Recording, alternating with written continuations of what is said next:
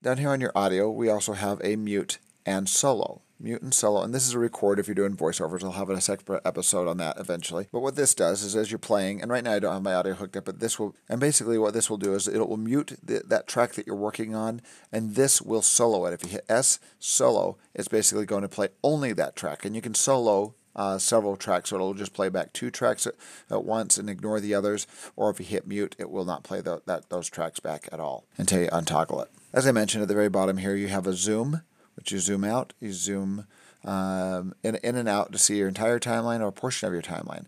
I kind of don't use this very much because pretty much I use the shortcuts on my keyboard, uh, plus and minus at the top of my keyboard, plus to zoom up, minus to zoom out. And if you want to see your entire timeline at once, hit the slash, uh, the forward slash above the uh, return or enter key. And that will show your entire timeline. There you go. And that, now I can see it, it zoomed in my entire timeline by hitting the slash above the enter key. So plus, minus, forward slash above the enter key, and there you go. A couple other things for navigating. As I mentioned in the source monitor, you've got JKL.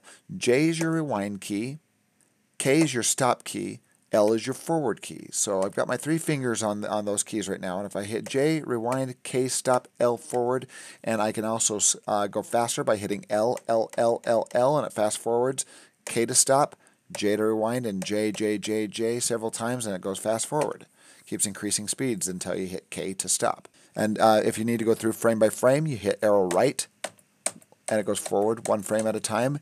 Arrow left goes backwards one frame at a time. If you hold down shift and hit arrow left, it jumps five frames at a time. You can see that in my time code there that it's skipping five frames at a time.